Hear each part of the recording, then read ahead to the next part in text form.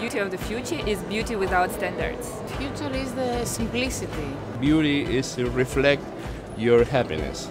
I think the future is about actually human being. Fix the problems from inside the organism. Understood what are the demands of the consumers.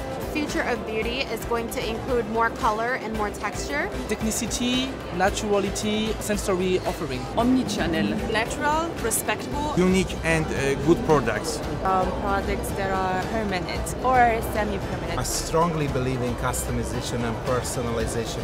Green, freedom, and high-tech. Niche concept, niche product. No boxes. The future is green. Bringing wellness and beauty together, and I think that's what the future is.